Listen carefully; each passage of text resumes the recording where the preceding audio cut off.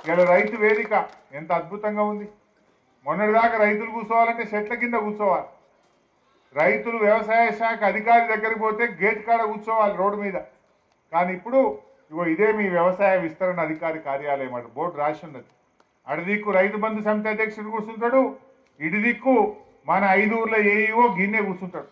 ఇక మండలానికి పోవుడో జైరాబాద్ పోవుడో అవసరం లేదు. రైతుకు ఏ పని పడ్డా ఇగో ఇక్కడనే ఏఈఓ కూర్చుంటాడు? పొద్దున్నాక మీ పొలాల కాడికి వస్తాడు మధ్యాహ్నం తర్వాత ఇక్కడ కూర్చుంటాడు. రైతుకి ఏదైనా పురుగుల మందు కొట్టాలన్నా మీ పొలంలో చీడ పీడ బాధలు వస్తే వీడికి వచ్చి కలిస్తే రైతు దగ్గరికి ఆ వ్యవసాయ అధికారి వచ్చి మీకు ఏం మందు కొట్టాలనో చెప్తాడు. ఏం విత్తనం పెట్టాలనో చెప్తాడు. రైతు బంధు రాకపోతే ఎందుకు రాలేదో ఎప్పట్లాగా ఇస్తాడో చెప్తాడు. రైతు బీమా చనిపోయిన రైతుకు ఐదు లక్షల రూపాయల చెక్కు తీసుకొచ్చి ఇచ్చే వ్యవసాయ విస్తరణ అధికారి ఇక్కడే కూర్చుంటాడు. అంటే రైతు ముంగటికి మనం ఇలా పరిపాలన తీసుకొచ్చినాం. ఒకనాడు ఏ చిన్న పని పడ్డా సంగారెడ్డి పోవాల్సి వస్తుండే. ఇప్పుడు సంగారెడ్డి కాదు వ్యవసాయ అధికారి ఉగ్గెల్లికే వచ్చిండు. మన ఊరికే వచ్చిండు వ్యవసాయ విస్తరణ అధికారి. ఇంతకుముందు రై ఆయన ఎక్కడ ఉంటాడో మనకు తెలియదు వ్యవసాయ విస్తరణ అధికారి ఎక్కడ కూర్చుంటాడు? ఏ రైతైనా వ్యవసాయ విస్తరణ అధికారిని కలవాలి ఏదైనా వ్యవసాయ పనిముట్ల గురించి అడగాలి ఎరువులు కావాలి విత్తనాలు కావాలి చెరుకు రైతులకు బిల్లు వస్తలేదు అడగాలంటే ఎక్కడికి పోవాలి? అయితే జైరాబాదు లేకపోతే సంగారెడ్డి. ఇప్పుడు అవసరం లేకుండా మన ఊరికే పంపిండు మన ముఖ్యమంత్రి కేసీఆర్ గారు. మన ముంగిట్లోకి పంపింది ఇవాళ టీఆర్ఎస్ ప్రభుత్వం. ఇగో ఇక్కడే కూర్చొని రైతులకు సేవ చేయాలి. రైతు దగ్గర వ్యవసాయ విస్తరణ అధికారి వ్యవసాయ విస్తరణ అధికారికి సంగారెడ్డిలో ఏం పని? ఊళ్ళే పని. బాయికాడ పని పొలం కాడ పని రైతుల దగ్గర పని తప్ప మీరు అక్కడ కాదు కూర్చోవాల్సింది. గ్రామంలో కూర్చోండి మన దగ్గరనే ఒక ఆఫీస్ కట్టించి మన ముఖ్యమంత్రి గారు మన దగ్గరికి పంపించింది. ఈ కార్యాలయంలో మనందరం మీటింగ్ పెట్టుకుంటాం అక్కడ చక్కగా. ఆ ఈ ప్రాంత రైతులకు ఎప్పటికప్పుడు పంట మార్పిడి ఏం చేయాలి? చిరుధాన్యాలు ఎలా పండించాలి? చెరుకు రైతుకు ఎప్పుడు పంట కట్ చేయాలి? చెరుకు రైతు పర్మిట్లు ఇప్పించే కార్యక్రమం కావచ్చు. మక్కలు అమ్ముకోవాలంటే సర్టిఫికెట్లు కావచ్చు పత్తికి మద్దతు ధర వచ్చే విషయంలో కావచ్చు ఏ పంట ఎప్పుడు పెట్టాలి విత్తనం ఎప్పుడు వస్తుందని అన్ని విషయాలు మాట్లాడుకొని దిగుబడి ఎక్కువ రావాలి మద్దతు ధర రావాలి సకాలంలో విత్తనం కావాలి సకాలంలో ఎరువులు కావాలి.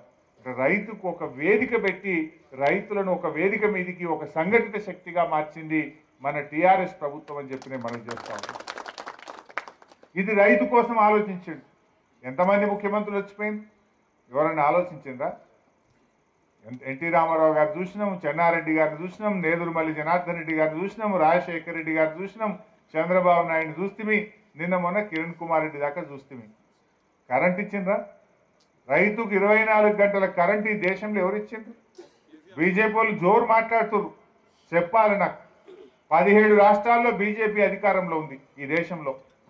ఎక్కడైనా బీజేపీ అధికారంలో ఉన్న రాష్ట్రంలో రైతుకు ఇరవై నాలుగు గంటల ఉచిత కరెంట్ ఎక్కడ ఇస్తుండ్రో ఏ రాష్ట్రంలో ఇస్తుండ్రో సమాధానం చెప్పాలి. ఉన్నదా ఎక్కడన్నా భారతదేశంలో బీజేపీ వాళ్ళు ఏ రాష్ట్రంలో ఉచిత కరెంట్ ఇస్తుందో సమాధానం చెప్పాలి. ఇవాళ కేసీఆర్ తప్ప టీఆర్ఎస్ గవర్నమెంట్ తప్ప ఎవరిస్తున్నారు మీరు బాగా మాట్లాడుతున్నారు. యాడిచ్చిందో చెప్పుంది ఈ పక్కనే కదా బీదర్ని ఆనుకొని కర్ణాటక రాష్ట్రం ఒక్క నాలుగు అడుగులు గట్టిగేస్తే కర్ణాటక వస్తుంది. మీరు గట్టి మీదనే ఉన్నారు. ఆవల కరెంట్ ఎట్లున్నది? ఈవల కరెంట్ ఎట్లున్నది? మీకు తెలియదా ఎట్లున్నది ఆవల కరెంటు? ఎంతసేపు వస్తుంది? ఎంత బిల్లు కట్టాలి? ఆరు గంటల కంటే ఎక్కువ వాడితే కరెంట్ బిల్లు కట్టమంటుండు. అది ఎప్పుడు వస్తుందో తెలియదు కాలిపోయే మోటార్లు పేలిపోయే ట్రాన్స్ఫార్మర్లు. వేరే మా సిద్దిపేటలో తెలుస్తుందో తెలియదో కానీ మీకు మాత్రం బాగా తెలుస్తుంది. ఎందుకంటే అవతల కర్ణాటక యువతల తెలంగాణ. ఎందుకంటే మీకు ఇంకెక్కువ తెలుస్తుంది. సుత్తరికాలు ఉంటాయి మీ పిల్లని అటించుంటారో పిల్లని ఇటు చేసుకొని ఉంటారు మీరు. జర మీకు బాగానే సంబంధాలు ఉంటాయి అప్పుడో ఇప్పుడో పోయేస్తారు అత్తగారింటికో లేకపోతే మీ వియంకుల దగ్గరికి పోయేస్తుంటారు. మీకు బాగా తెలిసి ఉంటుంది. అవతల రైతు బంధు వస్తున్నదా? అవతల కరెంట్ వస్తున్నదా? అవతల మక్కలు కొంటున్నారా? అవతల కళ్యాణ లక్ష్మి లక్ష రూపాయలు వస్తుందా? పక్క పొంట కర్ణాటకలో ఆసరా పెన్షన్ రెండు వేలు వస్తుందా? మరి ఇవి చెప్పాలి బీజేపీ మీరు అడగాలి గట్టిగా. దీన్నే కర్ణాటకలో బీజేపీ గవర్నమెంట్ ఉంది కదా. యడ్యూరప్పనే ముఖ్యమంత్రి ఉన్నాడు కదా. మరి ఎందుకో ఇస్తలేరు అక్కడ? మీరు చెప్పాలి ఇవన్నీ ఎవరు చేసిండ్రు? ఇలా కేసీఆర్ గారు టీఆర్ఎస్ ప్రభుత్వం యావత్ దేశం మెచ్చే విధంగా పనిచేసిన ప్రభుత్వం టీఆర్ఎస్ ప్రభుత్వం. పేదల సంక్షేమం కోసం పనిచేసిన ప్రభుత్వం.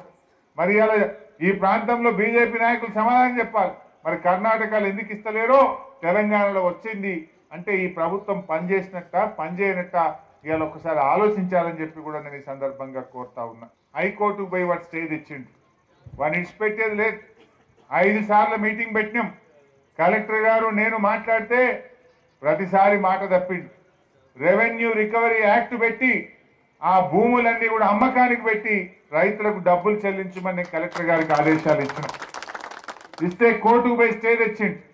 కోర్టు ఐదు వారాల గడువు ఇచ్చింది. ఇరవై ఆరో తారీఖు టైం అయిపోతుంది. ఇవాళ ఇరవై తారీఖు. ఆరు రోజులు టైం ఉంది. నేను కలెక్టర్ గారికి ఆదేశాలు ఇచ్చిన ఈ ఆరు రోజుల్లో మర్యాద కొద్ది రైతుకి ఇచ్చే డబ్బులు ఇచ్చిందంటే ఇచ్చిండు. ఇయ్యకపోతే ఇరవై ఏడో తారీఖు నాడు వేలం పెట్టాల్సిందే రైతులకు డబ్బులు చెల్లించాల్సిందే. వాడు ఎంత పెద్దోడైనా ఎవడైనా సరే మాకు రైతు ముఖ్యం. వాని వదిలిపెట్టేది మాత్రం లేదు.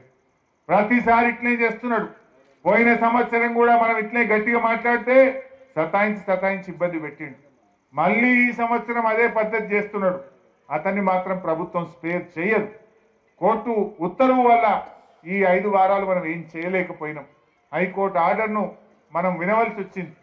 ఈ శుక్- శనివారం కదా అయిపోతుంది. బిడ్డ శనివారం లోపల ఇస్తే మంచిదే లేకపోతే సోమవారం నాడు అర్రాజు పెట్టుడే మా రైతుల పైసలు కట్టుడే. విడిచిపెట్టేది లేనే లేదు. కంపెనీలకు కూడా పిలిచిన మిగతా వాళ్ళని గణపతి షుగర్స్ పిలిచినాం. మాగి ఫ్యాక్టరీలను కూడా పిలిచిన. మా రైతుల చెరుకు ఏమి ఇబ్బంది కావచ్చు. మీరు మళ్ళీ లాస్ట్ కొట్టమంటే మాది జర ఎండలు ముదిరితే తిప్పలు అవుతుంది మొదటి నుంచే మా చెరుకు కొట్టాలని గణపతి వాళ్ళను మాగి వాళ్ళను కూడా ఒప్పించినాం. అక్కడ ఏం ధర ఇస్తే ట్రాన్స్పోర్ట్ కలిపి ఆ ధర ఇవ్వాలని చెప్పి చెప్పినాం. దానికి వాళ్ళు ఒప్పుకున్నారు.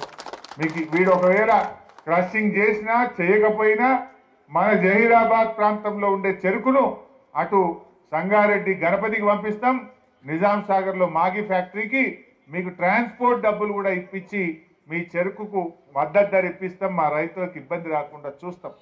టైమ్లీ పర్మిట్లు కూడా ఇప్పిస్తాం. మా కలెక్టర్ గారు డైలీ బేసిస్లో మానిటర్ చేస్తారు మీకు ఇబ్బంది రాకుండా చూస్తాం. మరి వాడి వారంలో కడితే మంచిది కట్టకపోతే సోమవారం అర్రాజు పెట్టుడే మీ పైసలు మాత్రం ఇప్పిస్తా చెరుకు రైతులు ఎవరు బాధపడద్దు ఆందోళన చెందొద్దు మేము మీ వెంట ఉన్నాము అని చెప్పి కూడా నేను మనం చేస్తా ఉన్నా. ఇంత లేట్ కూడా కాకపో హైకోర్టు ఆర్డర్ వల్ల మా చేతులు కట్టేసినట్టు అయింది. అప్పటికి మేము మూడు సార్లు మర్యాద కొద్ది టైం ఇచ్చినాం. ఇక అర్రాజు పెట్టే టైంకి ఆయనతో కోర్టుకెళ్ళి ఆర్డర్ తెచ్చింది. ఇప్పుడు ఆరు నెలలకెళ్ళి సతాయిస్తున్నాడు. కానీ ఇక వాడిని స్పేర్ చేయం. ఒకసారి చూస్తాం రెండు సార్లు చూస్తాం మూడు సార్లు చూస్తాం ఐదు సార్లు చూస్తాం. అంతకంటే ఎక్కువ చూడలేం మనం. కానీ ఈసారి మాత్రం తప్పకుండా యాక్షన్ తీసుకొని రైతులకు బకాయిలు ఇప్పిస్తాం. అదేవిధంగా మీ క్రషింగ్ కూడా ఇబ్బంది రాకుండా చూస్తామని మనం చేస్తూ ఉన్నా.